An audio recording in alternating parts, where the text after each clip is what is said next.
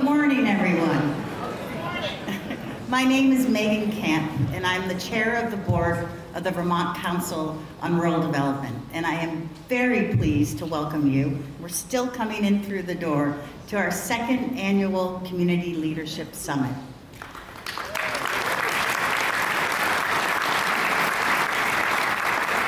This day is designed, and we're all going to be able to help create it, to advance democracy and local leadership in creating a better future for all Vermonters.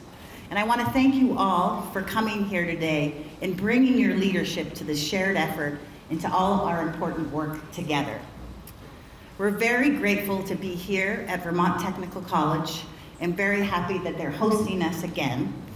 And to start our day together, it's my pleasure to introduce the president of Vermont Technical College, Pat Moulton.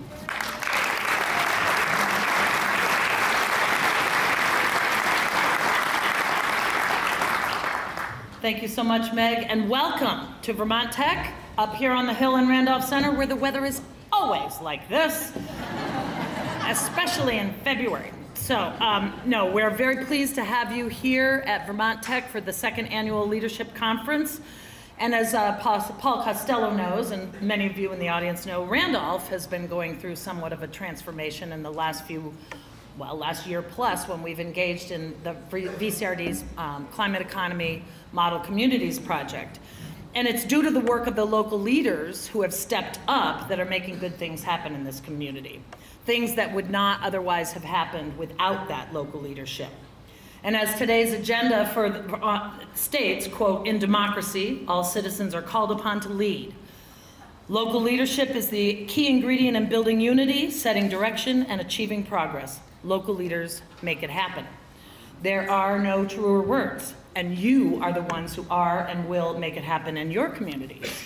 And Paul asked me to talk a little bit about what I think leadership is, given some of the work I've done in my career in economic development and now in higher ed. And I find that a little daunting task because leaders come in all many shapes and sizes, and how I perceive a good leader may be very different than what others and what you may think of as a good leader. But, you know, I think that's fine because there really is no one mold for a good leader. But in my opinion, a good leader is motivated to make things better, according to their definition of better. And they are driven by that.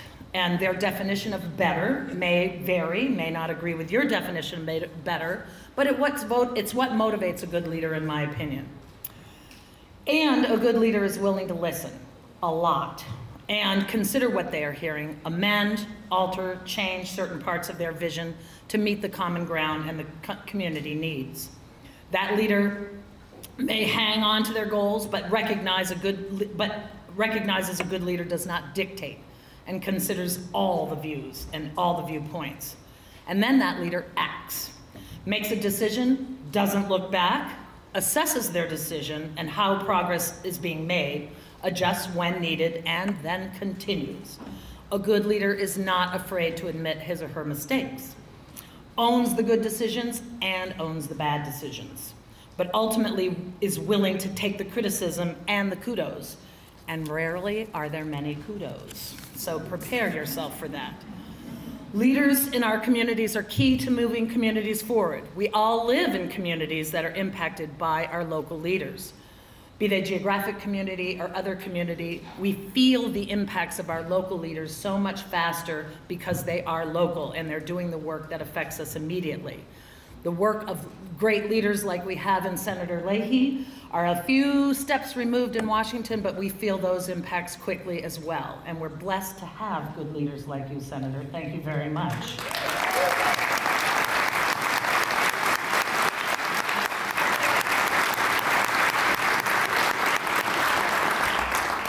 So the work we are doing, the work you are doing in communities is so critical, and it would not happen without you.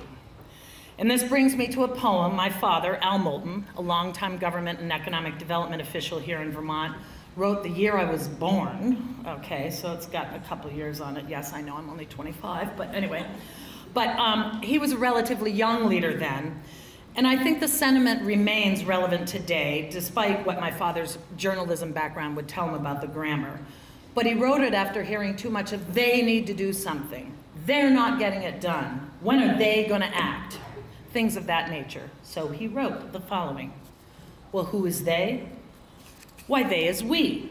We are the ones who can build our town, and we are the ones who can let it down. We are the ones who can make it grow, or we are the ones who can let it go. It is up to us if our town is going to boom, or we can sit back and seal its doom. Who is they? Well, I'll tell you, we is they, and they is you. You have taken the step by being here today, so thank you for the leadership you provide already in your communities and the leadership you will be providing. Thanks for stepping up because you are so sorely needed. Have a great day.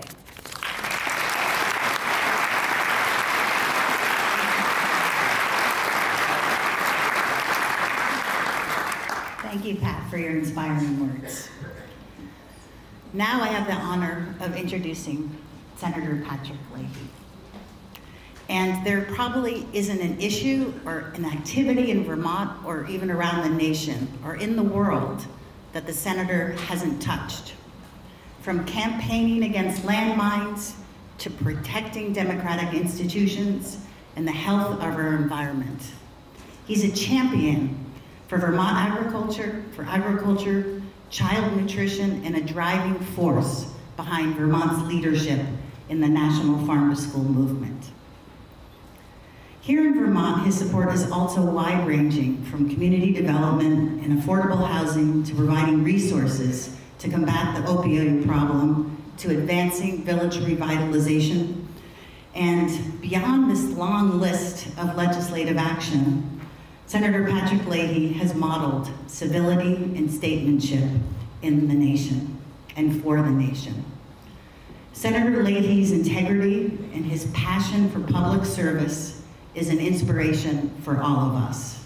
And he and Marcelle are one of the reasons that we can feel proud to be Vermonters. It's my great honor to introduce America's senior senator, but in Vermont, our beloved Senator Pat Leahy.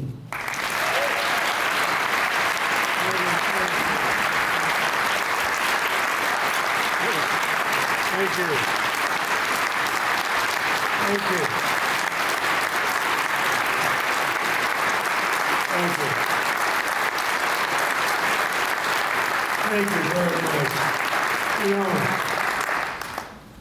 know, Megan, thank you for that wonderful introduction. Usually, Marcelle and I are dressed a lot less uh, formally, walking with you and your husband down at Shelburne Farms and, and enjoying it and having our, now our grandkids run around there and, and enjoy it. But thank you for the introduction and thank you for uh, both you and your husband for holding on to those Vermont values. And Pat, Pat Moulton, we've been here many times together. Your, your father's uh, poem, of course, I knew your dad quite well, and, uh, I can just hear him saying that poem. I could quote some other things he said, but it maybe they're probably a little bit too frank. Uh, but, but he's right. It's up to us. And I think I was talking with Paul Costello on the way in. When I think of the Vermont Council on Rural Development is doing, organizing this, I am so happy, and I'm glad to see this is your second one, and it worked the first time. As old friends from all over the state here. And as Vermonters, we do have a proud history of leadership and creativity. We, we faced um, challenges, we've overcome them. I remember when we were hit with Hurricane Irene and going around the state the day after the rain has stopped and going into towns that had been devastated and people already out rebuilding. Uh, you're here in this room because you've been identified as leaders. Maybe you've acknowledged that trait within yourself and for you taking the lead may come naturally. Others may have been encouraged to be here today those who recognize a, a skill that hasn't yet been tapped. But whether you're a veteran of committees or boards or elective office, or someone new to the fold, This native Vermonter wants to thank you for your willingness to serve Vermont. And look at some of the reports, and some say there's five types of leadership. There's some say six or seven, or maybe they're visionary, charismatic, whatever. Uh, don't try to put it into numbers. Be a leader and make it work. It's really not the number of different kinds of leaderships. It's knowing there's different situations, calling for different approaches. You look at the opportunity shared and presented, and you go with that. You bring people together. And I think that's what's important, especially in a little state like ours. You have to recognize strengths and weaknesses, and then you have to let individuals shine as a member of the team. Not everybody has the same skill set. Everybody has some. Find out what they are and do it, but that means you have to have confidence in yourself and you have to trust those surrounding you. I'm blessed with, I think, is the finest Senate staff possible, both here in Vermont, led by John Tracy, who's here, and in Washington by J.P. Dowd, uh, University of Vermont graduate. And I look at these people, I, I, I joke that, Kelsey knows what's coming next, but I joke that uh, I'm merely a constitutional impediment to the staff who do it all. But we just had a group of our appropriations staff up here in Vermont meeting with leaders in Vermont, finding out what some of the needs are. And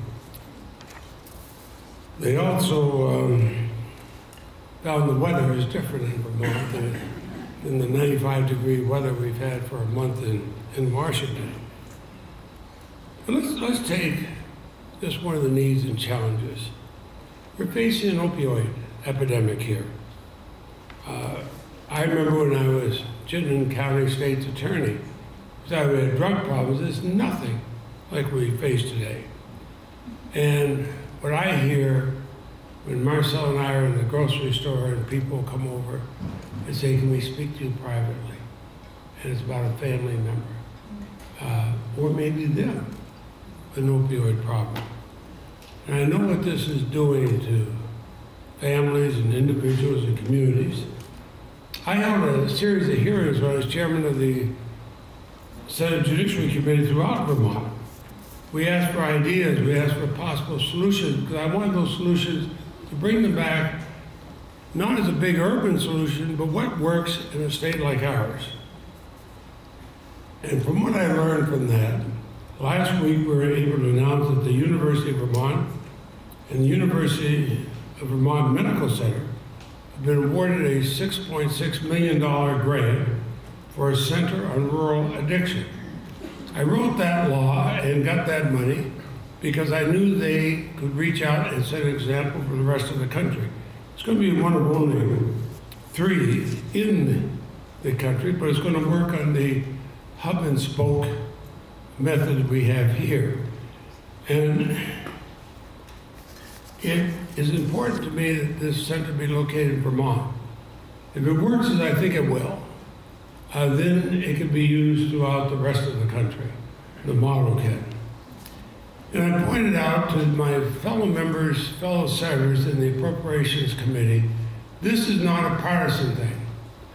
Governor Peter Shumlin, a Democrat, Governor Phil Scott, a Republican, have both publicly acknowledged the challenge of substance abuse and needs to address it. And I applaud Governor Scott for that. I applaud former Governor Shumlin for doing that. Because when you think about it, it's not political, it's the communities we love, the people we know here in Washington. And, uh, and or in Washington and in Vermont. We have to speak up for them. I will not forget the people who us the grocery store, coming out of church. Even the other day, I was pumping gas in the car. These tales, and that's why I love, other than the fact that it's really nice being home uh, and uh, watching grandkids run across the lawn in our home in, in Middlesex yesterday and But I think about, for, let let me tell you another story. Um, I sat around a Vermont farm family's kitchen table, and they were talking to me about organic farming. This was years ago. I didn't know that much about organic farming, so I came back and talked to them, talked to some of the others. And I thought, you know, we ought to be able to do this nationwide. The then chairman of the Senate Agriculture Committee, God rest his soul, had a different philosophy than I did. He said, this is a crunchy granola thing. We're not going to do it. And he would only listen to big agriculture. I became chairman. And I wrote it into the 1990 Farm Bill with the help of Republican Senator Dick Lugar. You know that crunchy granola idea that came from that kitchen table in Vermont is now a $50 billion industry as of last year.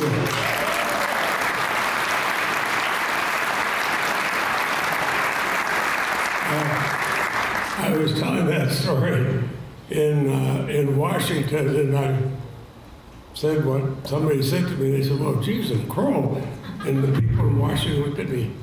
What is and crow? Uh, oh, you know, but um, a whole lot of leaders in the organic farm field followed. We could lay down the groundwork, but it took the leaders to do it. So leadership comes in many shapes and styles. Being here today, you're leading. And I applaud you for doing this. You make me proud to be a Vermonter, knowing that you're going to be the leaders in our state. Now look at, you go across all, all ages here. That's good. We need it. Thank you all very, very much.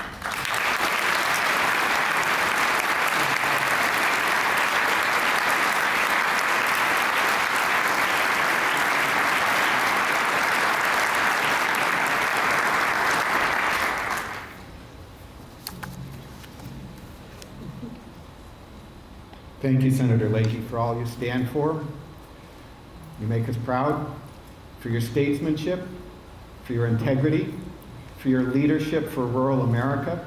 The National Rural Development Partnership gave Senator Leahy their Champion of Rural America award several years ago.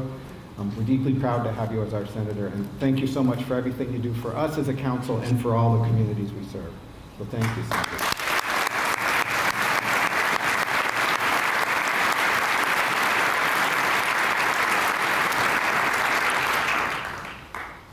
Could we get a show of hands? How many people were here in Castleton last year at the summit? About a third or a quarter of you. Great to have so many new folks. I want to just give you a quick picture of VCRD and our purposes and practice for the course of the day today. VCRD is charged by the Federal Farm Bill. Our national leader has been Senator Leahy in working to build state rural development councils across the nation. We're a nonpartisan group designed to bring people together. Uh, we do so community to community. We've worked with about 140 towns intensively, and at the state level, where we look how do we add things up for the future of our working landscape, for energy development in Vermont, for the creative economy, for how we approach climate change in a positive way that benefits our communities and advances our economy. Um, we have a model community visit that we've taken to towns all across the state. We say to communities, democracy is an experiment, it's not done. That those who engage, prioritize, and unite become collective spear points of activity that drive their communities forward and change Vermont. The squeaky wheel gets the grease. When you're organized and you know where you're going and your community is with you, resources follow. Don't wait for Washington, D.C., and don't wait for Montpelier, Vermont to set the course for your community. They can't do it. They can't lead for you, they can't set direction. But if you line up, those resources will follow you. It's all about local leadership. In democracy, there's not one person appointed to be the leader for your community. We're all responsible. It's part of our, of our blood to stand for things, to stand up for what we believe in, to drive our communities forward. It's part of what we are about. Power follows those who step up and bring people together in collective action. resources follow. We see this power every day in the communities we work with, and I see it right here in this room. That this is a room dedicated to the progress of Vermont. We're bigger than our individual purposes. We have a, a, a direction that we help set every day, and it's an incredible honor to be here with all of you. At Hazen Middle School last year, my granddaughter Georgia, Georgia, stand up for just a second. Her class had this idea, they had a geography lesson on North Africa. And afterwards, a circle of girls got together and said, What could we do about this? They looked online, they gathered information, and they found a place that they could invest in a well. And they raised money together by doing a walkathon. They put together $5,000 in Hardwick, Vermont to support a, a well in North Africa. Our world is small, and you don't need permission to lead. Could we have a round of applause? Oh, George. But I'm not proud of her. I'm not proud of her. It's just a, it's just a little story, really, isn't it? Because this is what happens every day. This is what people do all the time. This is natural to us. Animosity, hatred, you know, that's, that's not what we are as a democracy. We stand together. We stand up for good things and we make them happen every day with hard work. Uh, last year's summit, we heard powerful collective ideas from over 500 people. We gathered those principles together. We published an interim report that many people got, and if you haven't seen it, it's online. We built a symposium for organizations that are looking at the future of leadership in Vermont, some of our great partners, some of our outreach partners. The symposium came up with three key findings about leadership for the future. And the first is not a big surprise, it's about we have to do more to expand youth leadership, to support young people who are stepping up, to support the next generation, support civility and their understanding of their role in, in a democratic society. We depend on them. We need to systematically advance vision, funding, and creative policies and programs to provide skill opportunities for young people today to lead the future of Vermont. The second one is we need to build diverse and inclusive leadership. We need to open Vermont up to everyone. We need to expand the diversity of leadership, and by doing so, we expand the idea of Vermont, what it means to be a Vermonter. It's not just sixth generation farmers, it's someone who moves here from, from away and wants to be part of our community and wants to, to have an impact for good. We need to welcome that, and that's the seed for creativity to powerfully answer Vermont's demographic and economic challenges for the future. The third is that we need to foster and support community leadership across the board. Um, we need to deepen our offerings, and for VCRD's part, we've been working on a plan to do so. We're working to build a community leadership guide for Vermont that will be online and on paper, that will describe ways that you can learn how to run a better meeting or raise funding, but also how do you develop a sewer project? How, how do you develop a cooperative daycare center? How do you de develop a local ag network? And we've been working with communities all across the state that do all of those things. So let's add it up, let's put it together, let's make it practical and functional, and then let's list the towns that have done it so you can call those folks, not reinvent the wheel, but be part of that bigger partnership of Vermont communities, because it's really about a fabric of progress, people working together. We're also going to, you put out the guide, you got to answer the phone calls, right? so we're going to expand our capacity as a resource referral center.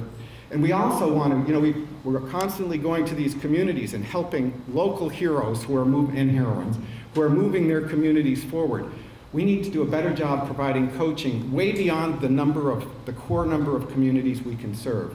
Because lots of times local leaders don't need, you know, they don't need, uh, you know, a, a five-year program. What they need is someone to say, you're amazing. it's awesome what you're doing. You can do it. You're going to be successful. You need help building a budget? You need help applying to be a nonprofit? We can help you with those details. But it's all about recognizing and supporting the talents and creativity of those people. So we're excited about doing that.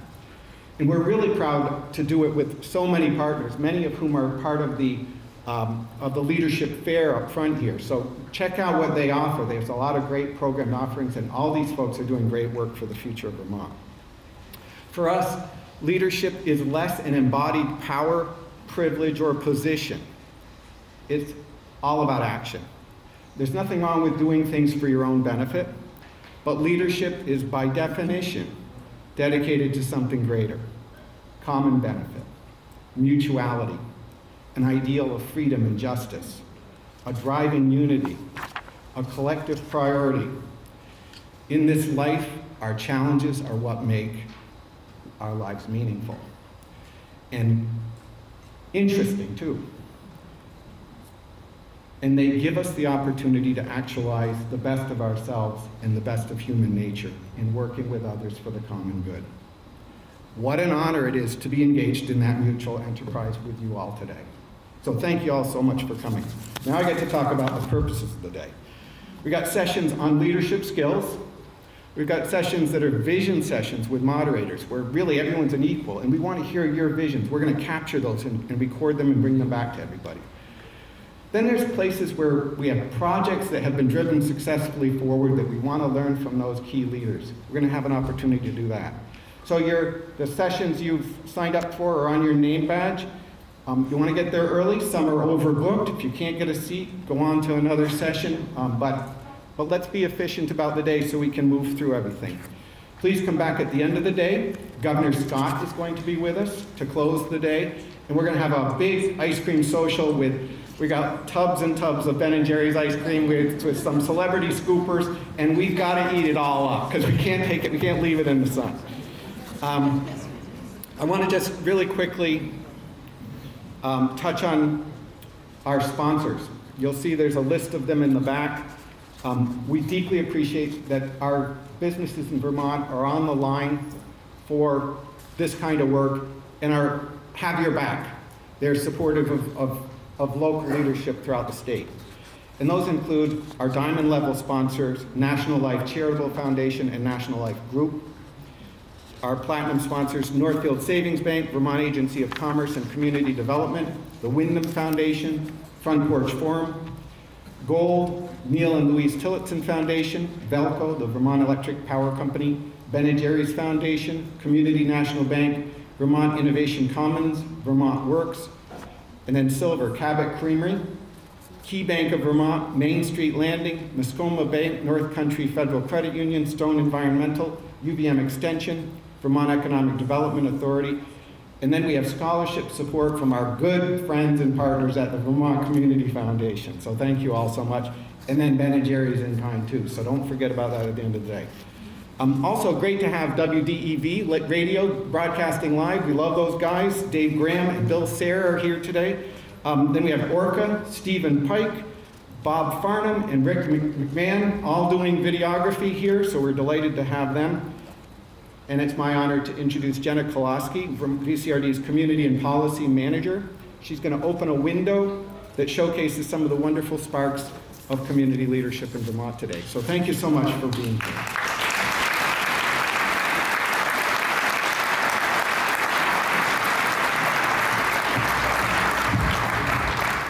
Thanks, Paul, and thanks so much to all of you. So I'm Jenna Koloski, Community and Policy Manager with VCRD and I'll be hosting our Community Leadership Showcase. So I get the opportunity to introduce you to all of these wonderful leaders sitting up here. But I first actually wanted to quickly talk about all of you. Um, you'll remember that when you signed up for the day, and I just want to make sure that this is working. Yes. When you signed up for the day, we asked you a series of questions to kind of capture a little bit of information about everyone that's attending today. And I wanted to share that with you quickly as a backdrop to our presentations this morning. Um, so we have attendees here from every single county in the state. And it was really exciting to look at the registrants and see the kind of diversity of folks attending and the breadth of interest and things that you're involved in in your community. So we asked registrants, what issues are you working on in your community today? And up here is what we saw.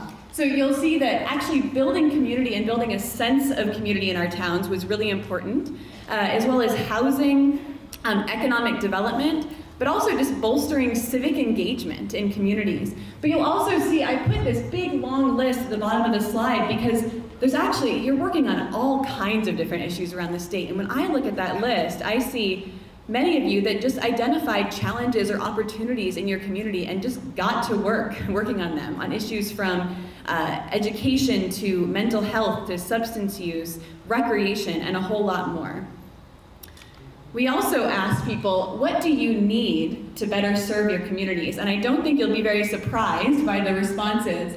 Uh, we saw training and support, volunteers, networking and connections to others that are working on these issues, facilitation support, vision, communications, time, and of course, financial resources at the very top. And then we also finally asked, what would you include in a vision statement about Vermont democracy? And these are the responses that we saw. So what you'll see is the responses are really overwhelmingly about engagement, about inclusiveness, about democracy that's really rooted in community and sense of place and an equitable and collaborative approach to progress and development. So you'll see that there are a few really clear themes here. You know, we're really here to celebrate individual leadership and people stepping up for their communities. But when you see these responses, you realize it's not just about us as individuals. It's really about building those connections and networking and building a sense of place and a sense of community. So we're here to celebrate individual leadership, but also to help to celebrate and to build those networks and that community uh, that we really need to do the work that we do. So all of this feedback that you provided is a really great backdrop for our Community Leadership Showcase this morning. We brought these rock star leaders that are sitting up here together because we wanted to showcase all the different forms that leadership can take in a community. And we asked them to respond to a few questions. We asked them, what does leadership mean to you and what drives you to engage? Why or how is personal, individual, and community leadership important to the future of Vermont and to our communities? And are there ways that we can better support and engage others in leadership in Vermont? And we gave them the difficult task of answering those questions in five minutes. and so we really appreciate them putting the hard work in uh, to share their stories with you this morning. Um, so let's go ahead and get started. So we're going to kick things off with Ali Dieng. Ali is a passionate and dedicated community leader. He works directly with families in Burlington, uh, especially those from different socioeconomic and cultural backgrounds, and he was elected to serve on Burlington City Council. And his work, both in the City Council and professional work, um, really gives a voice to immigrant families in Burlington and offers them confidence and opportunity to connect into their communities. Um, so I'll let Ali share your story. Thanks so much.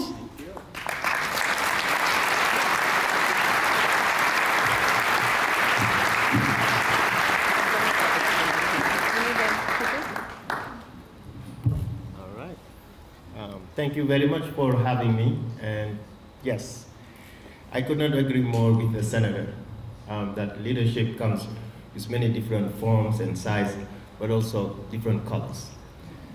And different accent too. You can say that I'm not from here, right? So I came here in 2007, in, and I had no idea that I would come to the US one day.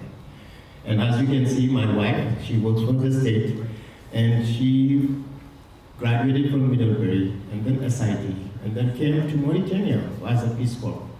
We got in love and I came here. And when I came, you know, did not like it all. Uh, no, because Vermont was so weird.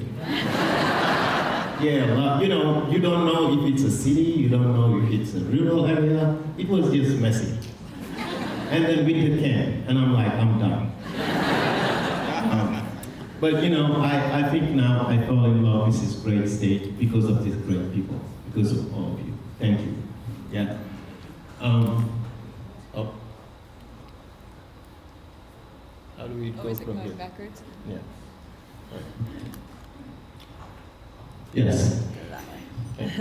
and to me, leadership is definitely, like all of you, it's showing up in your local communities, in your schools, in your rural areas, wherever people gather, you have to show up. Leadership, fundamental, is about showing up, getting involved, and having the ability to identify community gaps. Because most of the time, we all talk about the Z, they, they, they. But me, what is something affecting me? How can I identify and how can I collaborate with people to get it done? That's leadership, and that's what we need to do to collaborate. No one can do it alone, and nobody's coming. Nobody. It's us, and we have to get it done by ourselves. As I said, let's keep everyone weird. Keep our values intact. We value community, we value hard work, we value support. If we leave those, we lost. Let's keep them intact. And also, leadership is not about developing your own, but making sure that you put the seed in others that never thought themselves as leaders. Let's make sure that we support other people and build their leadership. I was the founder and manager of Burlington School District Parent University, which is an educational program for parents of students in the school district. Many people, when I first brought the idea, I received so many pushbacks, so many, for two, three years, until they accepted to pilot. You have to stay, keep what you believe in, and move forward. I see my assistant here, um, Sydney, she's right here, and nobody believed in this. And now parent universities have over 70 community partners that work with us to empower parents as equal partners in their children's education.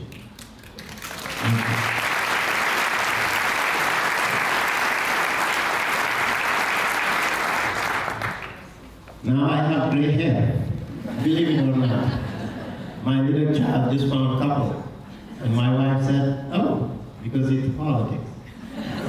When Obama started, no gray hair. Weinberger, no gray hair. But now we all building it. We have it all over. And I think in politics, it's all about being able to receive punches. Yeah, sometimes they punch you all the way to the ground. And sometimes it's not for you to punch back. It's about the fight for things that you believe in.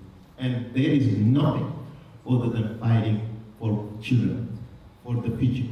The reason why I support the resolution that will be introduced tonight at the Burlington School at the Burlington City Council, around opposing the basing of the F-35. The Senator is not here. Please give me a round of applause if you believe. Representation matters. We cannot make decisions for people that we don't understand. We don't understand their values, value. We have to recreate the table in making sure we are inclusive. People's voices matter. And I'm glad that I'm the only black person from Africa who is representing over 4,000 people in Burlington. Thank you for voting for me. If you are new,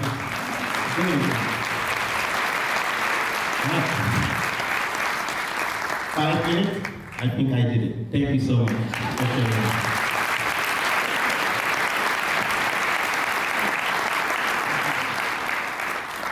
Thanks so much.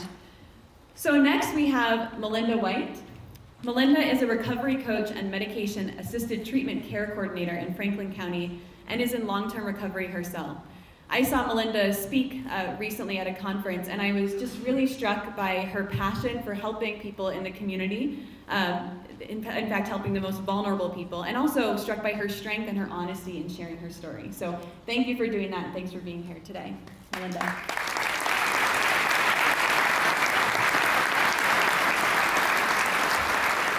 Good morning. So my name is Melinda White. First and foremost, I am a person in long-term recovery. What that means to me is that I haven't had to use a mood or mind-altering substance since December 28, 2011.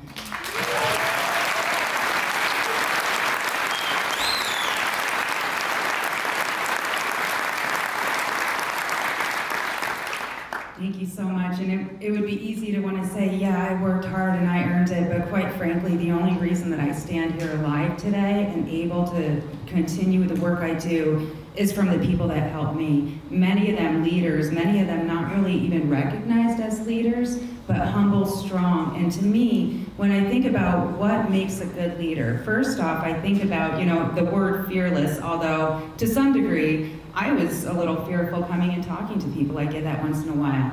Fearful about making change, but the fear that I think about that makes a good leader is somebody who, who recognizes it, but that doesn't stop them.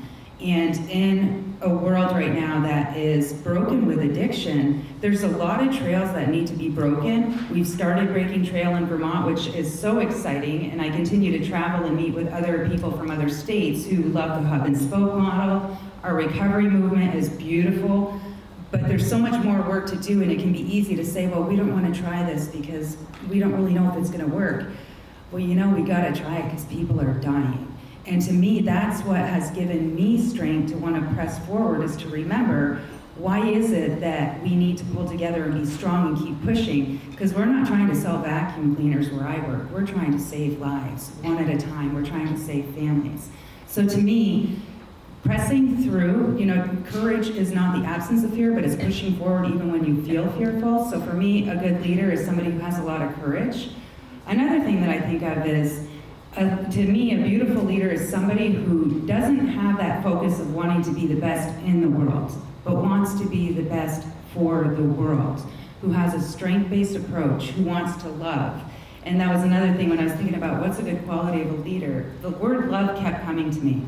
And I don't mean love as in like that warm, fuzzy emotion we get for our loved ones and people we care about, but love is in that action for the stranger that I don't know, but if I see them suffering, I stand over and I, I give them a hand. Love is buying lunch for somebody who is homeless on the corner and trying to set it down in a way that they won't even see where it came from. Love is paying it forward at Dunkin' Donuts, getting coffee, at restaurants.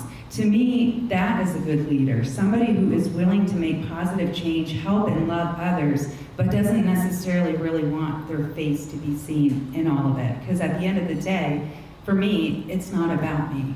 There's a mission, I believe the only reason I'm alive after having gone through a number of residential programs, detox. I went to Philadelphia Teen Challenge.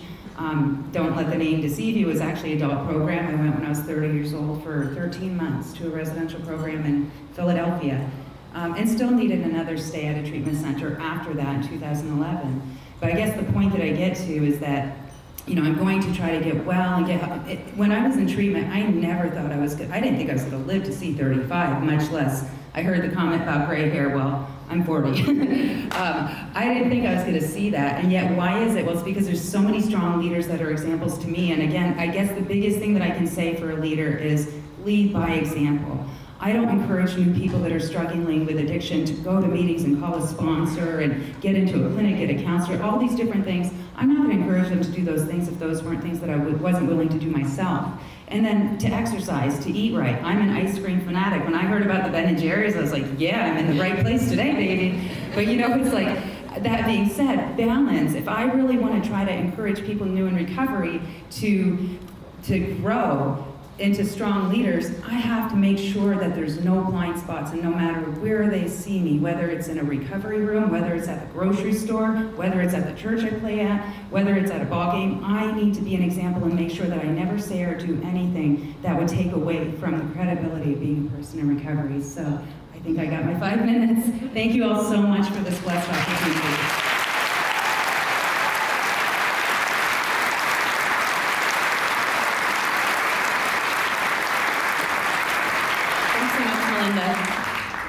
So next we have Lucy Rogers.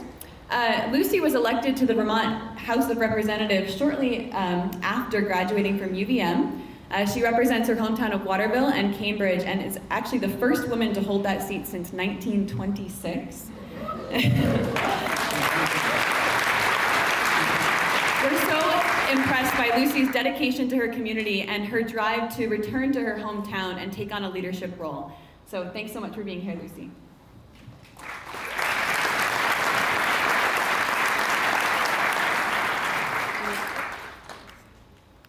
Good morning. Thank you so much for having me here today. Um, as Jenna said, my name is Lucy Rogers. I represent Waterville and Cambridge in the Vermont House of Representatives. Um, and I was elected this last November, which was six months after I graduated from the University of Vermont. Um, I want to focus on speaking about rural leadership and in particular speaking about young rural leadership. So I see leadership not as a goal. I think leadership is never the goal. The goal is to solve the problem, and leadership is the means of solving the problem. Um, and for me, my interest in politics is something that's very recent. I never saw myself entering the political field, but what I did care about was my home community, the people I grew up with as neighbors, and having a sustainable rural town that was going to be um, thriving and growing into the future. And so I saw this growing up as kind of an issue for my little world of 700 people in my hometown of Waterville, which is shown up on the map. And what I realized both through the University of Vermont and through travel is that it's not an issue for my hometown of Waterville. Rural issues are an American issue, but they're also a global issue. Um, so I want to tell a short story that demonstrates that.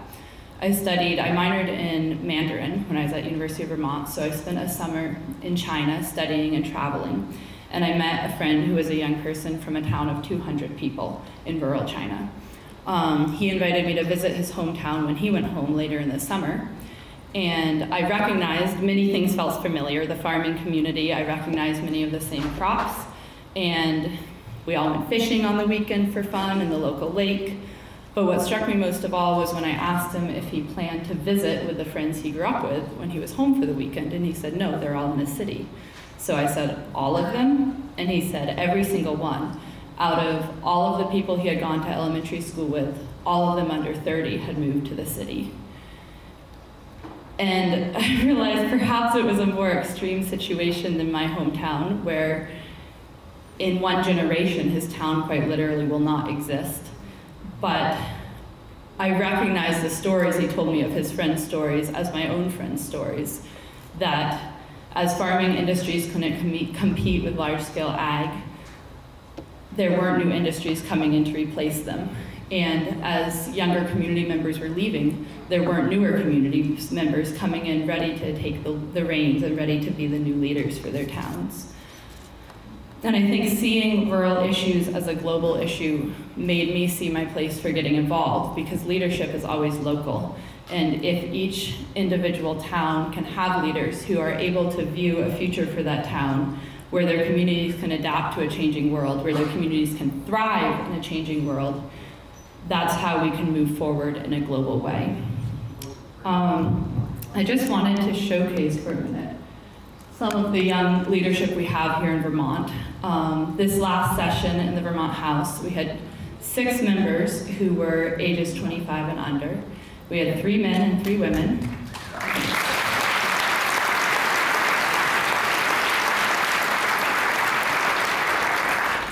We had three men and three women. We have two Republicans, an independent, and three Democrats.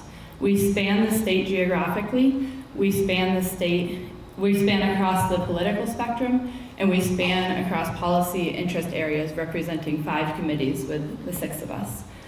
Um, the one thing that all six of us have in common is that we all represent our home districts and we all represent rural districts. And so I think what this shows is that with the challenges we have for young people in rural areas, those who are choosing to stay are deeply invested in their communities, are invested in envisioning a new future for their communities, and are willing to think creatively and willing to think boldly about what that new future will hold. I think the greatest irony in thinking about the future of rural communities is that the very same forces of technology, of communication, of transportation that make it difficult to remain in a rural community are also the same forces that show a hopeful future for a rural community. As a young person, I no longer have to think that I'm making a choice between the rural community I love and staying connected to the world, between the rural community I love and being engaged in global issues. And I think in order to have this bold creative thinking and this new vision, what we need to remember is that we can't fear giving up the past. And I think that this, this concern of losing what we love about the past of our community often prevents us from going forward. But what I would leave you with is the thought that we cannot hold on to what we love about the past unless we think boldly about the future. Thanks.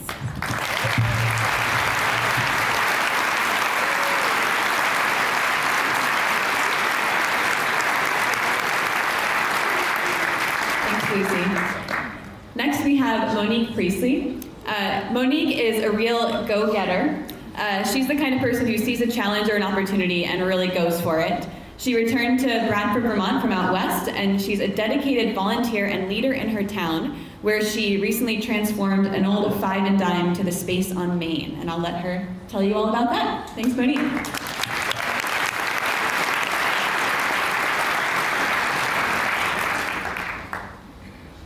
Hi, everybody. Um, this weekend, uh, sorry. This weekend, I volunteered as a mentor for this incredible cultural entrepreneurship program that spends a week at Galusha Hill Farm in Topsham. It is hands down the most impressive program that I've ever seen in action. Uh, one of the most surprising aspects uh, is that among amazing individuals that are transforming their cities and towns, they all have some degree of imposter syndrome. I feel imposter syndrome deeply every day. I am someone who will show up, dive into the work, ask questions, and figure things out along the way. In many ways, I don't know what the hell I'm doing, but I love the challenge of figuring it out, especially when it impacts others. I feel failure when I don't anticipate every little thing. Some may just call that learning. I'm a learner that goes all in. In late 2016, our main street was suffering. One of our key businesses, a department store, had gone out of business. Across the street, a global oil company bought out a family business that spanned the block and said they'd keep everything the same, and left town as soon as the papers were signed. I was on 15 or so boards at the time, and every single meeting was discussing what we were going to do. My remote full-time job was in Seattle, and I was starting to view it as an escape route. I went, on, I went uh, to one of our business association socials. The depression was palpable. Previously, I had told a few close friends of an idea I had to create a multi-purpose space most people smiled but blew it off. I myself considered a retirement goal. A mentor of mine came up to me at the gathering and said, I think it's time to share your idea. There was instant buzz, more drinks were ordered, and we sat around talking excitedly. I went straight to my friend Sam's house. I didn't have any money, and I didn't have any idea how to pull this off. He said, You just helped me start a nonprofit. You know that's a possibility. I decided I would go that, uh, I decided I would see if there's any interest in a shared space, what people might pay, and what they might use it for. I left Sam's, sent out a survey, and Googled how to start a nonprofit.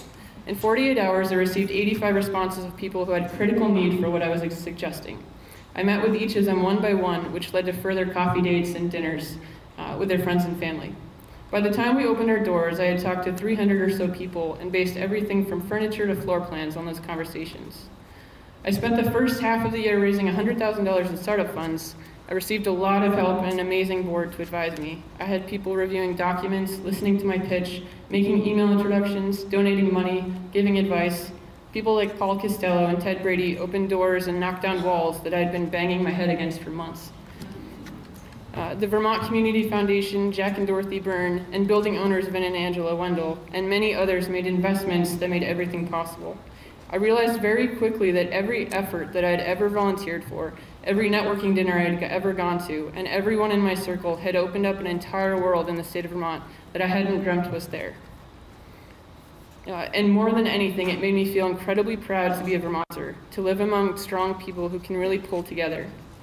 We opened in mid-October as a community-based co-working maker, conference, event, and gallery space. Our year-end goals were to have 25 monthly members and to serve 1,000 people. In 10 months, we are at 33 members and have served 5,000 people. We have hosted coworkers, kids yoga, Renaissance workshops, business programming, meetups, a Senate hearing, youth social justice dinners, and any number of other things. The space has taken directions uh, that I never would have expected. It has transformed lives. And the coolest thing about the space is that um, I get people from towns as well as all over Vermont, New Hampshire, and Massachusetts visiting, calling, emailing, figure out, figuring out how they can create a similar space, open a small business, or pursue any number of random life goals. They saw energy and it awakened something in them. Every one of our small towns needs that energy. They need someone taking charge and changing the status quo. Current leadership needs to mentor, listen to new ideas, and when the time comes, nudge people to step up. We need to invest in creativity, collaboration, and an atmosphere that encourages someone to take a chance. There are so many efforts that happen behind the scenes in small towns, and that if that energy and spirit dies, the Vermont we know will cease to exist. There's power in community, in small town grit, and in good old New Englander ingenuity. We have so much potential to do amazing things. Every single person in this room is a part of that. I know it doesn't always feel that way. It sometimes gets lonely to care, to show up, but hang in there. Even in those moments when you don't feel like you know what the hell you're doing. At some critical moment, all the dots will connect and all of your work will make sense. Your potential for impact is very real.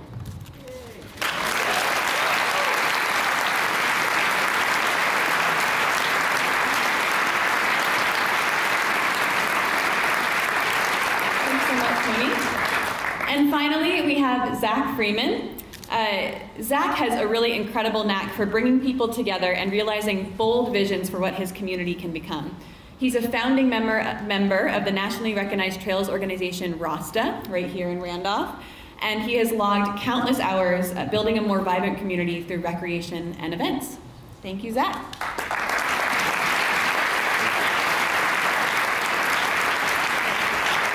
I'm need to raise this up a little bit. um, great, well, thank you, uh, Paul and Jenna and VCRD and VTC uh, for hosting this amazing day. I stand before you humbled by this opportunity to share the story about Rasta and creating a more vibrant community here in our hometown. I was born and raised right here in the Randolph area. Yup, I can turn on an accent too to prove it. My profound love for this community and deep roots in Vermont are at the core of who I am today. I was grateful, though, to have a long stint out west exploring, skiing, mountain biking, and traveling. And all of these experiences had a major impact on my life. I returned home, as many Vermonters do, to build their house, to raise a family, get married, and engage in my community. Vermont is like no other place, and my mom uh, describes it to a T.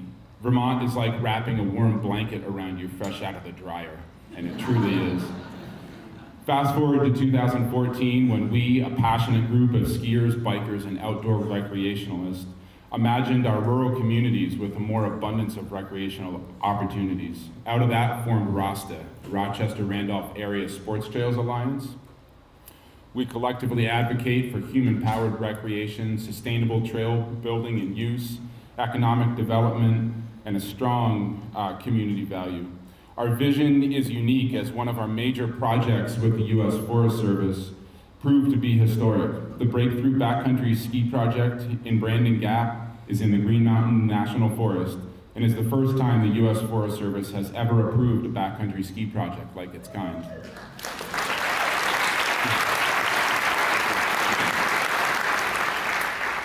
With fellow Rasta leader Angus McCusker, we worked closely with the U.S. Forest Service to write the handbook on how a project like this would be designed and implemented, and now is being used by other organizations around the nation. Building upon that success, we dug in deep and started to enhance our local trail networks while building a stronger outdoor culture in our backyard. The magnitude of these projects, combined with recent State of Vermont VOREC win, thank you Governor Scott, has cemented Rasta as a leader in the outdoor recreation world. After devoting countless volunteer hours with Rasta, I followed my heart, I dug in and created more and truly engaged in a higher level to give back to my community. Just over a year ago, I was grateful to carve out a new position, the Rasta Trails and Recreation Economic Director, or TRED. Creating more opportunity and vibrancy while enhancing our outdoor assets was the goal. A true dream job, this inspired me to launch events like the Braintree Bluegrass Brunch, the Braintree 357 gravel, bike race, and other small community-focused events that showcased Rasta's initiatives. At the same time last year, VCRD launched their community visit here in Randolph, which I fully engaged in, and that process helped shape this new chapter in my life. Today, myself, along with good friend and local visionary Paul Ray, excuse me, um, are renovating a historic 1850 timber frame building in downtown Randolph. It's right on Main Street. Um, in that space, we'll host a bike shop along with the much anticipated Rasta Outdoor Trail Hub. This trail hub will be the center for our trail information and then also a platform for statewide trail info, Green Mountain Trail, Long Trail, um, and all of the other uh, clubs in the state through VMBA. Um, the renovation of this old building has truly lifted the community spirits and shined a light on where Randolph is going. Vision, commitment, and passion, and a true love of community is what truly drives me. I was raised to be open and accepting, gathering inspiration throughout my life, and to that I thank my parents who are here in the crowd today. My hope is that someday I too will inspire others to follow their passion and create their own future. In closing, I'd like to read a blessing that a dear friend and local leader, Morgan Easton, shared with me in a turbulent time between two leaders, trying to see eye to eye. It's entitled For a Leader by Irish author, poet, and philosopher John O'Donohue in his book, Bless the Space Between Us. This blessing speaks to the true essence of a leader and calls out that leadership is both a choice and a practice, a way of living, not a position or a title. For a Leader by John O'Donohue. May you have the grace and wisdom to act kindly, learning to distinguish between what is personal and what is not. May you be hospitable to criticism. May you never put yourself at the center of things. May you act not from arrogance, but out of service. May you work on yourself, building up and refining the ways of your mind. May those who work for you know you see and respect them. May you learn to cultivate the art of presence in order to engage with those who, who meet you. When someone fails or disappoints you, may the graciousness which, which you engage be their stairway to renewal and refinement. May you treasure the gifts of the mind through reading and creative thinking so that you can continue as a servant of the frontier where the new will draw its enrichment from the old, and may you never become a functionary. May you know the wisdom of deep listening, the healing of wholesome words, the encouragement of the appreciative gaze, the decorum of held dignity, and the springtime edge of a bleak question. May you have the mind that loves frontiers so that you can evoke the bright fields that lie beyond the view of the regular eye.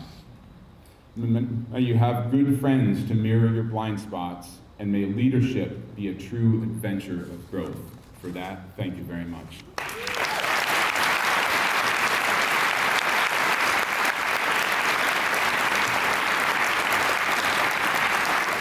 Thanks so much to each of you for sharing your reflections. You know, at VCRD, we know that there are countless challenges that face all of your communities every day. So we think it's really critical to share these bright spots and these success stories. And what we get the opportunity to see in our work is that these stories really add up to a really wonderful narrative in Vermont of local democracy and of strength in our communities. And we also know these are some great examples of leadership, but we know that all of you contribute these stories and contribute to that collective narrative in our state. So we're honored to have you all here today. Please join me in thanking all of these great leaders one more time. And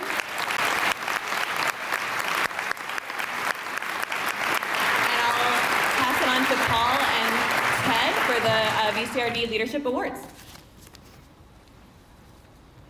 So glad Paul.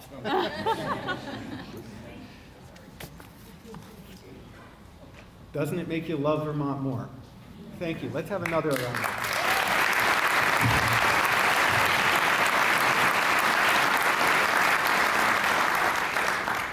So leaders galvanize others and catalyze projects. Ted, what are you doing here? uh, in their communities, they change the state, they give power to progress. Uh, today, we're really excited to recognize two key leaders who each in their own way have exemplified this dedication to community and rural development.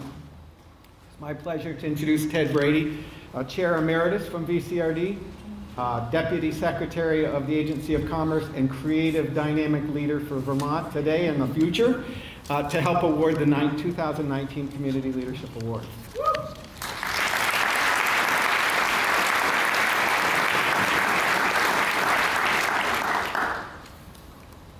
Thank you so much, Paul. Uh, I just want to take a moment here to reflect on the last hour of what you've just heard, because it is so uniquely Vermont.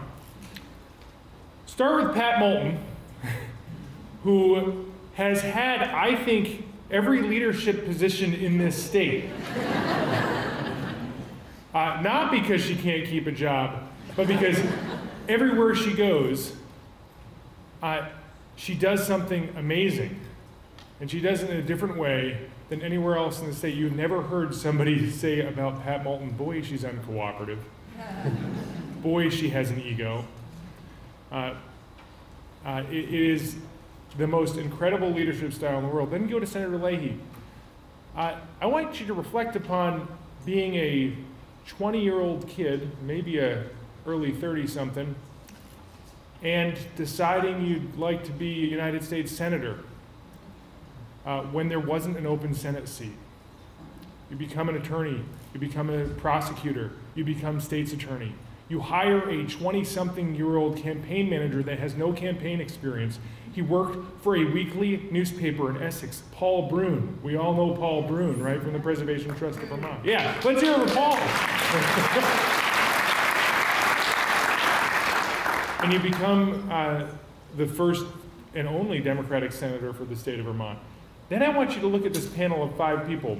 What you heard over and over again was uh, nobody gave me this. Nobody said I should do this. Sure, there might be some nudges there, which is a really important part for everybody in this room to play. But they, uh, they, they had the confidence, they had the vision, and they just said, as Monique's shirt um, so interestingly says, maybe I should get off the couch, right, Monique? also, a unique Vermont story. I don't know their backgrounds. I don't know the five of them all that well. But uh, they didn't pull in here with an entourage. They didn't pull in here with a well moneyed past. They didn't pull in here as part of an elite group of people that have led this uh, community, these communities for their entire multi generations. Reflect on that because we hear all the time when you go into these communities in Vermont the old boys club, the old boys network. Well, it's falling apart to our advantage.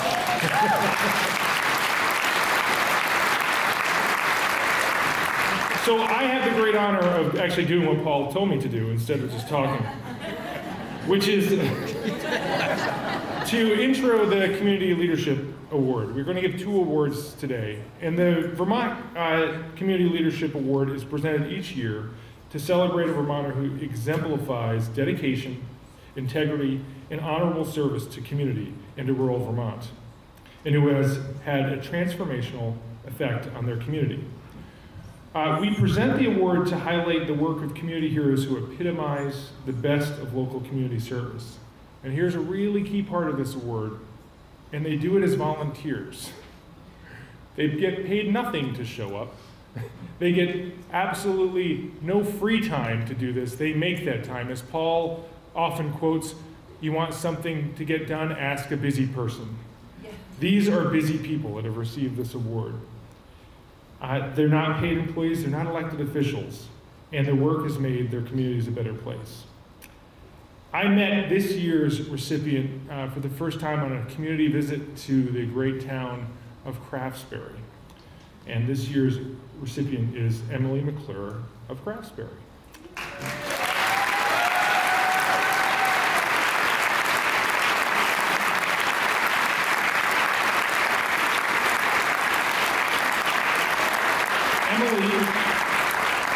For those of you that don't know this incredible story, has owned and operated the Craftsbury General Store since 2012 with their partner Kit Bassam. Did I pronounce? Basem. Basem. I'm sorry, Kit. If you're here, I'm so sorry. She grew up in Orleans, Vermont. And here's what I don't understand. She then went to Los Angeles to be an event organizer. I have trouble seeing Los Angeles, but I trust it actually happened. Why would you lie? She came back to Vermont uh, because of the sense of community in the Northeast Kingdom. And it's what also drives her career. You can see that in action everywhere she goes. Emily builds community through food and fun, along with positive energy and her can-do spirit. Emily's the vice chair of the Craftsbury Planning Commission. Do we have any Planning Commission members? Let's raise your hand. uh, and she's on the uh, board of the Center, uh, an Agricultural Economy Board, and has one of, uh, sorry, and one of the proud hosts of the annual Craftsbury Block Party. Anybody gone to the block party?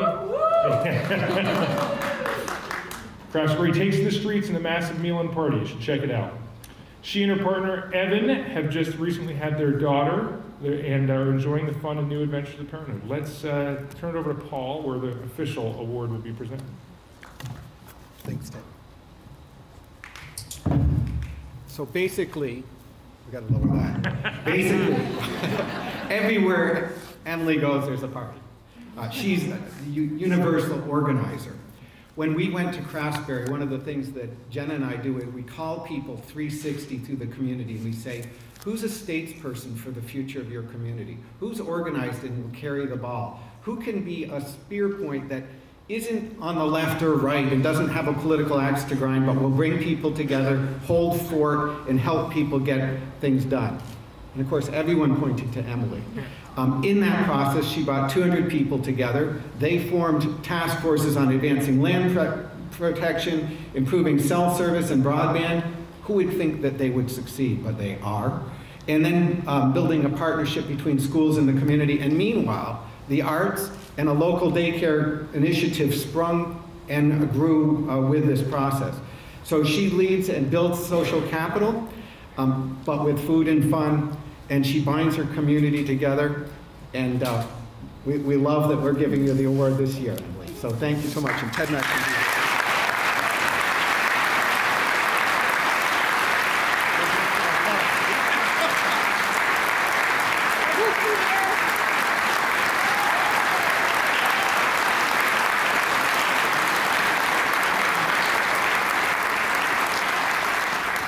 Whew, geesh. Um, very humbled to have received this award in an audience that looks like the one standing in front of me. My friend Sarah Waring, my good friend Linda Ramsdell, you know, so many folks that I know also contribute so much to their communities. And, you know, I think the one thing that I take away from hearing all the speakers earlier today um, is that our small state thrives on our small communities, which thrives on volunteerism and local leadership, and that we all have to rally. And this room is full of people who are trying to bring our state to the next level. Um, and I'm so grateful to, to live here and to be sitting in that warm blanket of Vermont. Um, so thank you all for all you do. And you know, it's not convenient and it's not easy, but it's necessary to make our state a better place and our local communities. And uh, go Vermont.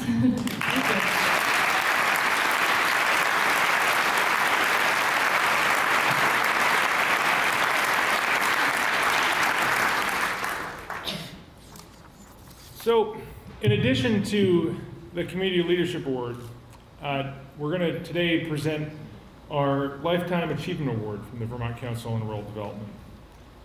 Uh, over the last few years, we've recognized a Vermonter who's dedicated their life and career to the community and to the communities throughout the state. The award's given in recognition of his or her transformational leadership and service to community and the people of Vermont. I think you'll recognize a few of our past award uh, winners, uh, including John Ewing, Rick Davis, Paul Bruhn, and Molly and Hank Lambert. Any of them with us today? Haven't seen uh, Molly. She's everywhere though, so she'll she'll show up somewhere. so this year we're excited to recognize uh, somebody who has led uh, for many decades in their not only their position uh, where they serve, but also as just a mentor and leader to many people uh, in many different communities, and that's uh, Gus Seelig. Cheer for Gus?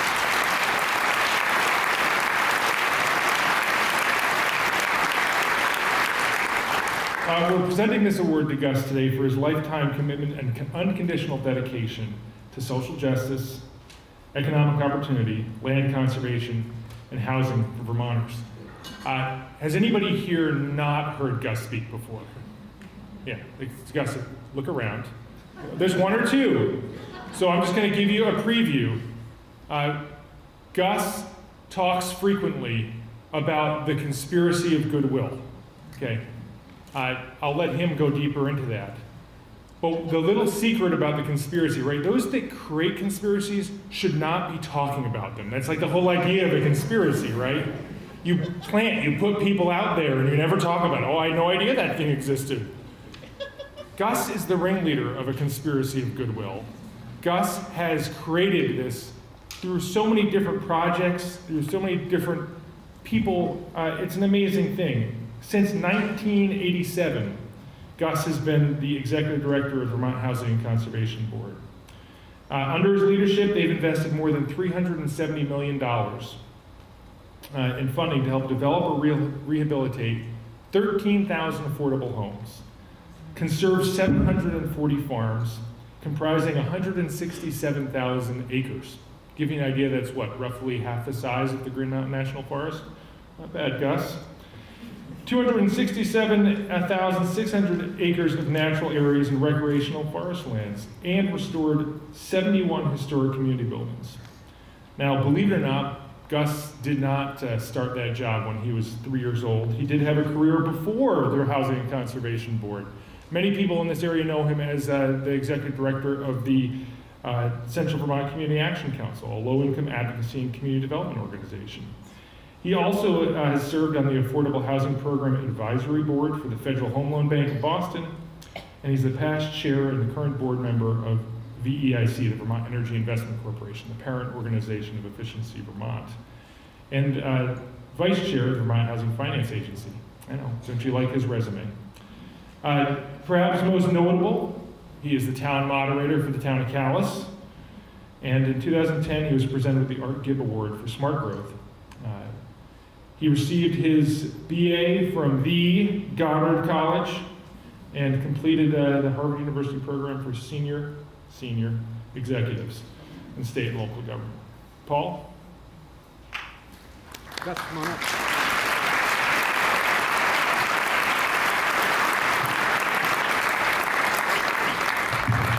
That's a lot of history, Gus. A lot of accomplishment. William James called building a peaceful, humane, and fair community in the modern age the moral equivalent of war. And I know, and you know, and we all know, that for Gus, the war on poverty is never over. It's not something we are complacent about. In his way, Gus embodies for so many of us the best of our ideals as Vermonters. Conservation of the land married to strong town centers, and housing with dignity for all members of our society. We're going to hear from Gus about his sense of justice and all that. We always do. But it takes more than idealism to frame and lead VHCB. It's more than good spirit to convince governors of both parties, legislators, the feds, all of his partners to pour hundreds of millions of dollars through that entity to serve communities. It's been long, hard, consistent work requiring endurance, steel, and statespersonship. Gus is a collaborative engineer. He's a champion, a peerless champion of the people, buildings, and land of Vermont. Thank you, Gus, for all you've done. Do today. You're not done, but for the lifetime of achievement that you've already provided. Thank you.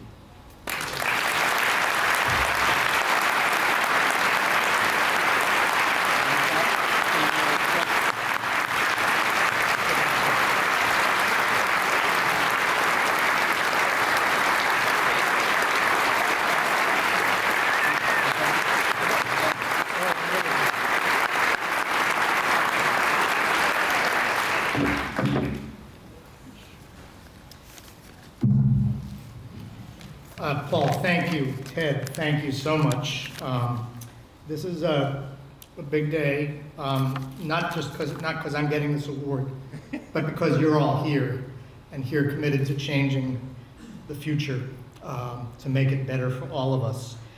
Every day I've spent with the council and with Paul Costello has been a great day that's deeply moved me enriched the work we do. So thank you to the council and for your great work. It's been just tremendous all over the state. Um, my family's here, and you all know that you don't get to do this work without uh, support from your family. So thank you, Marianne, and my daughter Rachel, who's now a legal aid lawyer, just won her first Supreme Court case. Um,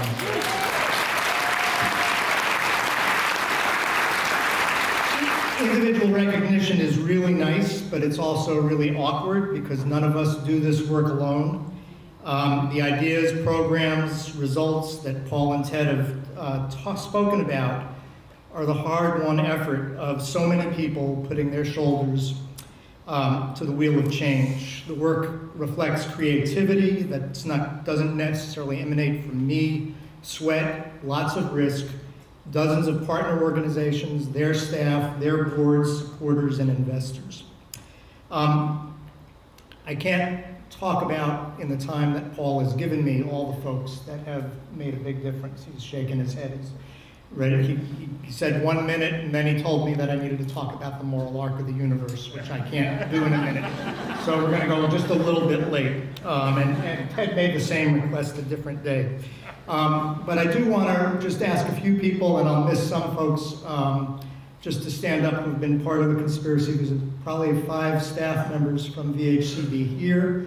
I see Avram Patt, who I started to work with in my community development days, Don Hooper, Mark Snelling. Um, and I want to say we've worked with every policymaker in the state of Vermont, from Governor Kunin. Mark helped us secure $20 million back then, and I saw Suzanne Young and Governor Scott has uh, provided us with a housing revenue bond that my great colleague Jen Hollar and I worked so hard to secure. So all of you please stand up and let everybody say thank you for the work you've done as part of this conspiracy.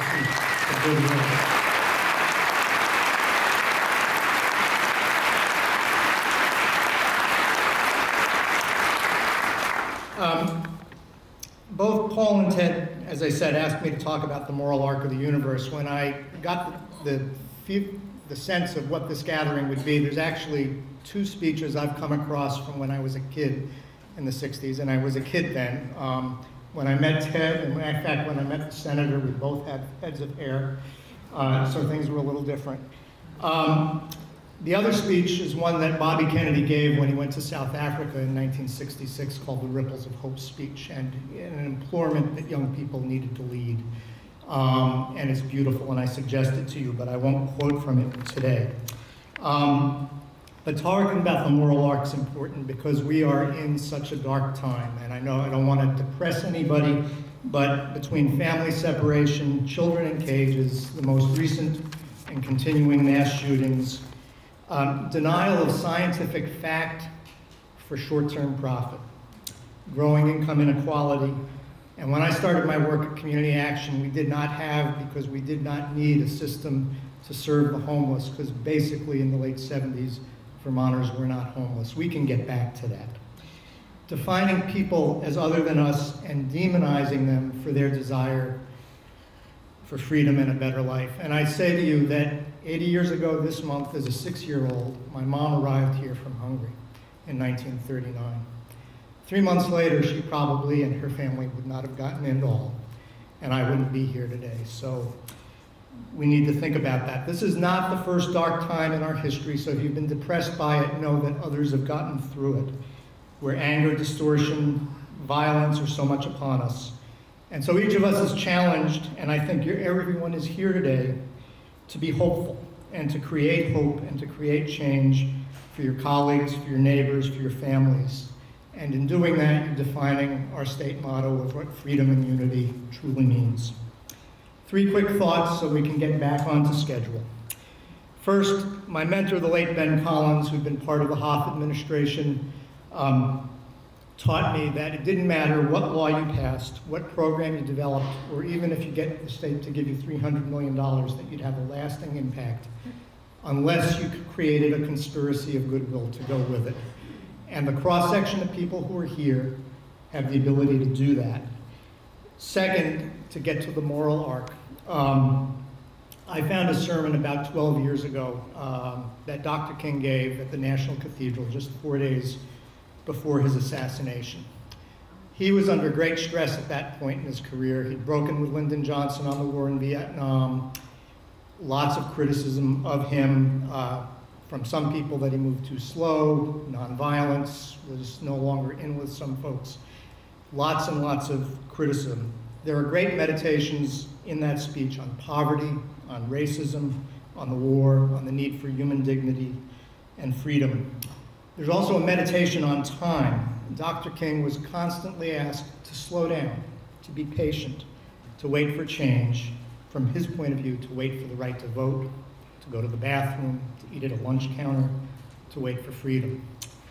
He concluded the sermon by saying that the arc of the moral universe is long, but it bends toward justice.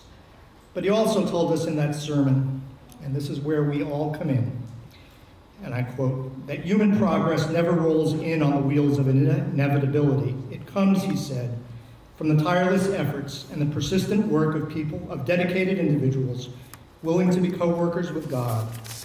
And without that hard work, time itself becomes an ally of the forces of social stagnation.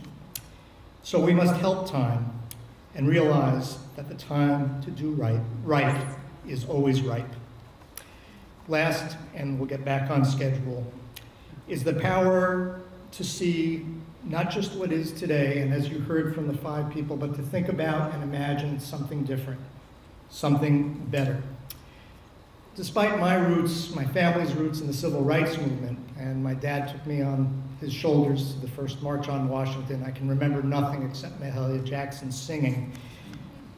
In 2007, most people I know from that era could not imagine that we could elect an African American president.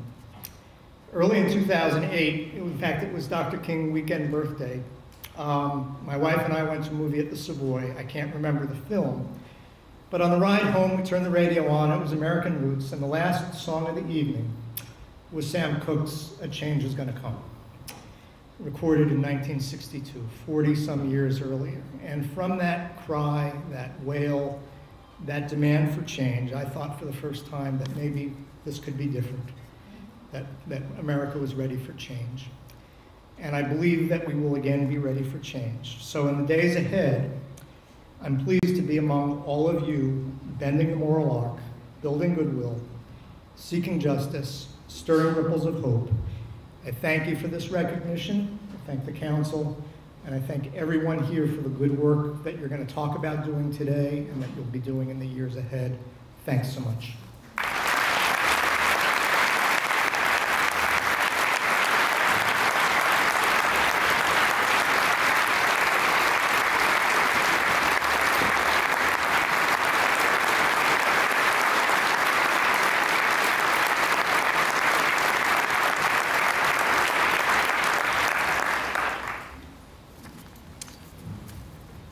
first community award we gave was to uh, Al Stevens.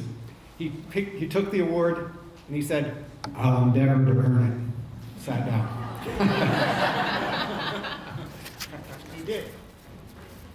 He did. Thank you, guys. So, now we're going to break.